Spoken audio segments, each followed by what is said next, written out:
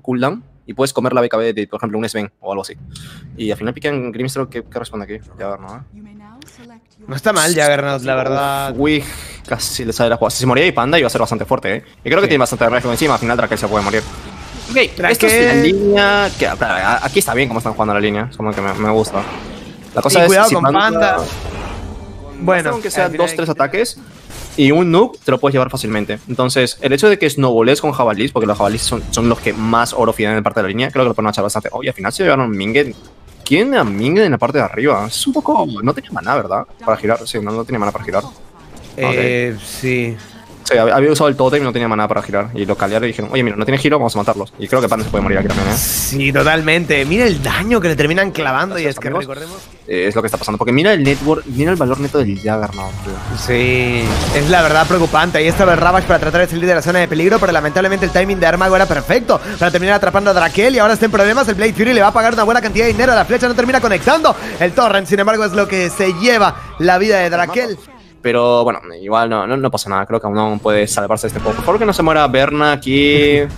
Vamos a ver, ¿eh? porque la flecha y el Oh Rolling. Boulder, pues, todo muy bien conectado de parte del equipo de Omega. Cuidado, igual la vida de Tano termina costando, pero la vida de Berna es lo más importante. Robo Z tiene que tratar de generar algún cambio, algún destino diferente, porque si Oscar muere, tal vez podría ser un intercambio un poco más valioso. Disable de entrada y no muere entonces el argentino. Eh, hubiera sido una muy buena noticia para Raquel, ¿no? Rolling Boulder y ahora sí ha llegado a la caballería y este Tide Hunter no tiene mucho camino de salida, más que simplemente entregarse a una triste y lenta muerte. Ah, aquí Drakel está cometiendo. No, yo no siento que debería estar jugando arriba Drakel. Sino como. No estoy muy seguro, la verdad, de cuál es el plan. Primal Row rápidamente encima de Tano. Perdón, de, de Roboceta. Y se lo llevan sin mayor intercambio. Ok, ah, como ya vemos, el Voice Sprint no puede estar en esta línea. Un robar. Dos, se puede morir solo con el Frostbite. Porque ahora mismo Panda está maxeando el Frostbite, lo cual es un build bastante inteligente. Sí, Panda se acaba de morir, por cierto. Aquí lo vemos, pero podrían haber hecho un poquito antes. La cosa lo van a matar. Tiene buenos stacks ahí. Ok, genial. Sí, y este kill vale bastante, como bien lo decía Flapjack, el de Remnant ha conectado en su totalidad y el kill encima de Dark Mago, la verdad, no supone ningún problema. Se acaba de revelar Panda, cuidado, trata de esconderse, pero lamentablemente es que este buen Spirit sigue con double damage. Muy bien el baiteo, sin embargo, de parte de Panda, no me lo esperaba porque ahí estaba el Primal Roll que termina siendo bien conectado. Lamentablemente fue mejor lo de Drakel y llega con un Ravage de antología para cerrar así el destino de cuatro personajes del equipo de Omega. Y ahora Tano escondiéndose entre las sombras, tiene visión, pero lamentablemente no tiene la salida muy cómoda. Lo acaban de encontrar inmediato. Eh, Silence eh, conectado, trata con el Rolling Boulder, nadie lo bloquea. Y el kill eh, no sucede encima del Ard Spirit. Igual. Sí, supongo que tampoco ha sido muy grande el focus encima de Dark Mago porque no se esperaban que se vaya por un ítem así de greedy como la Radiance, ¿no? Flecha no conecta y ahora el Rolling Boulder de parte de Tano termina conectando muy bien. El kill sobre Robo Z debería ser bastante sencillo y claro que se lo llevan. Es que el Primal Roll acaba de cargar, así que Anon no puede mantener mucho más la defensa. Es un buen momento para que Omega empiece a recuperar su posición en el mapa. Si se logran llevar la tier 1 de medio, por cierto, sería un lujo. Sería un lujo, pero igual tienen cómo defender. Creo que, oh, espérate, porque se viene más acción aquí, ¿eh? No sé si van a comentar Sí. darnos. ¿Es o doble El- acción? Primal Roar encima de Yadomi. Puede parecer poca cosa, pero si se logran quedar con Wick también, podría ser una buena noticia. El Link ha conectado y además el Soulbind termina impidiendo que la escuadra de Omega salga a buscar algo más. Pero sigue pareciendo que el Primal Roar sobre Greenstroke quizá no, no la mejor idea. si esta Radiance, de hecho, ha sido tan greedy que Dark Mago le ha quitado mucho espacio de farmeo al Juggernaut. Que había tenido un juego paupérrimo, así que algo de recuperación no le vendría mal. Inksul acaba de conectar lo que habilita la flecha y ahora sí Soulbind rápidamente para ver si pueden terminar castigando un poquito más. Ahí estaba el Prison Field bien cancelado. El de Remnant utilizado por parte de Robo Z ha sido suficiente, pero el Robosh ha conectado encima de tres y ahora se lanza rápidamente Spectre al ver que podrían tratar de matar incluso a Mingate. Dark Mago, el daño bastante elevado, terminan sacando entonces el Omnislash. Sobrevive por el momento Mingate. Ahí estaba el diseño de salida. Es muy incómodo para el equipo de Omega tomar esta pelea, pero aún así terminan encontrando el ángulo preciso. Castigan a Drakel. Blade Fury inmediato. Mingate se lo ha llevado y ahora sí trata de descargarse a Unknown encima de Dark Mago. Parece un buen intercambio. Al final Omega sale con un héroe menos y tienen que vaquear. Berna no sé si tiene el HP suficiente para tratar de buscar este pick-off. Pero bueno, vamos a confiar en que como no hay Primal Roar, la verdad es que está eh, medio sencillo para Berna movilizarse. No pasa nada. Puedes seguir haciendo pickoffs. Sigues teniendo un Boy Spirit. Ahí está, el primer pickoff del que estoy hablando. Me muere el Spirit. Sí, sí, lamentablemente Tano es atrapado en una zona un poco Pikachu. Y el kill sucede tranquilo, ¿no? Para el equipo de Unknown. La respuesta, sin embargo, es bastante buena. Darmao tiene que utilizar el Ghost Ship, pero aún así debería estar en capacidad de llevarse el kill. No, Wig es que tenía la Mechans, así que sobrevive por el momento la presión. Trata de escapar, mantiene su distancia y es sobrevivido. Ahora podría ser incluso problema para Dark Mago. Mira cómo lo termina focuseando. BKB prendida, Blade de Perrón prendida. Y ahora sí se empieza a reflejar el daño de la Radiance. Es el todo letal, de todas formas. Tight Hunter acaba de ser atrapado por el X-Mars de Spot. Y el kill no es tan complicado si es que está Mingate unido, ¿no? Y estas son como las jugadas de Envy, ¿no? El Juggernaut se da cuenta de que su farmeo no va a fluir. ¿Qué hace el resto del equipo? ¿Qué hace el Tide Hunter sin Ravage? No va a hacer nada en la pelea, es bastante incómodo. Entonces, voy hablando de Boy Spirit Glove, se puede morir aquí. Usado el Leul, sin embargo, ¿eh? ¿Qué? Oh, no. Uy, Dissimulate de salida y termina esquivando al menos el Ghost y ahora toca vaquear de parte del equipo de Unknown. Ha sido bastante pesada la presión, sin embargo, Roboceta no puede ofrecer muchísimo más. que es la mejor iniciación que podrían hacer, ¿verdad? Simplemente matar al Beastmaster primero, porque así tu Spirit tiene juego. Y Yadomi, no sé, creo que se muera Yadomi, ¿verdad?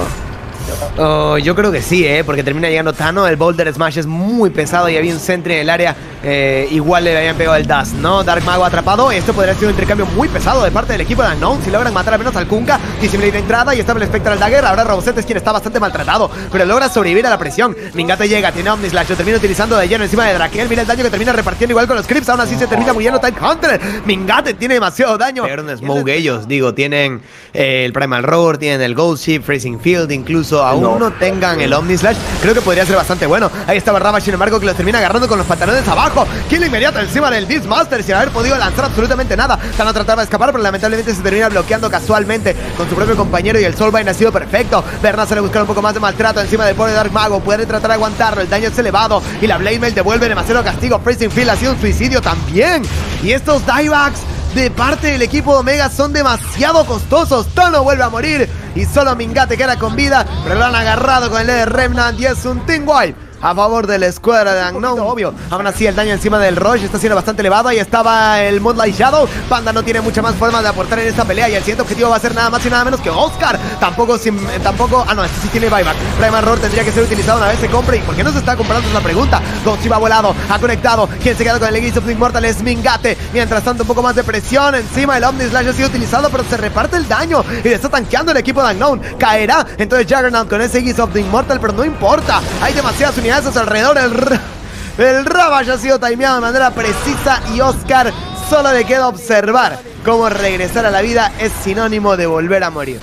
Porque esa pelea en el pit y esperar que carguen los ultis por parte de Unknown con el Hound y el, y el Ravage, lo vas a perder sí o sí. Entonces, igual esa idea. Oh, para, matar a, no, Sí, kill rápido y al igual también la Crystal Maiden termina cayendo y tan pronto reviven los matan. Es que así de potente está la pelea del equipo de Unknown. Es muy castigable por el Ravage de, de, Drakel. X-Mars Spot, Ghost Ship también. Conecta encima de Tide, pero no es del todo letal. BKB de parte de Dark Mago, solo por haber tomado la osadía de tratar de defender en contra de 4 y no ha perdido nada, ¿no? Para simplemente baitear esta BKB de larga duración. Eul Scepter, no me digas que igual se muere, ¿eh? Uy, ese Remnant totalmente fuera de posición. Roboceta lo falla. Mientras tanto, el resto del equipo de Unknown se concentra en los objetivos. Tienen Crips todavía. Primal Roll rápidamente. Puede terminar cayendo Roboceta. Se lanza de cara. El Juggernaut. Y esto le podría terminar costando la vida. Trata de escapar, pero la Blade sigue castigando. Y no importa que pegue Blade Fury. Aún así, Berna tiene demasiado castigo. Este Freezing Field ha sido bastante bueno. Sin embargo, ha condicionado toda la posición del equipo de Unknown. Tiene que vaquear. No se lanza. El Magnetite sigue bloqueando. Sigue molestando. Tight Hunter trata de meter un poco de ralentización. Quizá jalar algo de marca. Pero no ha sido del todo útil. Porque igual siguen persiguiendo y terminan llevándose al Greenstroke. Con el Scadi es como, oh, van a que aquí tiene base, ¿verdad? No, ya está muerto. Y es otro kill más para el equipo de Unknown. Y esto es ya prácticamente una masacre, ¿no? No esperaba que se utilice el Ravage de esta forma, imagino. Dark Mago trata de sacar el torrent, pero lamentablemente lo tienen basheado. Ahora trata de tepear. Vamos a ver si le termina haciendo la jugada. Un bash, no, nada. No tenía la suerte Berna, pero aún así Tano tendrá que pagarlo con la vida. en nada en específico.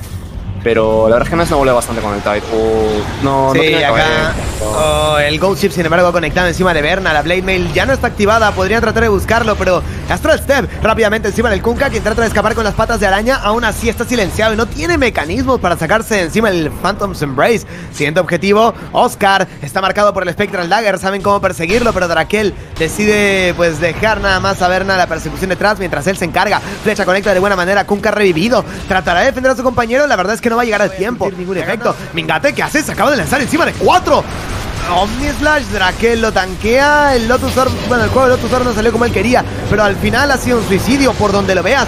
Ningate, la peor toma de decisiones que he visto en el momento de defensa de estructuras, aunque tal vez podrían tratar de forzarlo. No, la realidad es que Berna está muy por encima. Swift Slash para así llevarse al menos al Grimstroke. Eder Remnant ha conectado y es otro kill más sin buyback, obligando así el GG de parte de Tano por una defensa forzosa de parte de Omega en una tier 2 que claramente podría haber dejado ir. Bueno, quiero esperar a que termine la partida para verificar algo.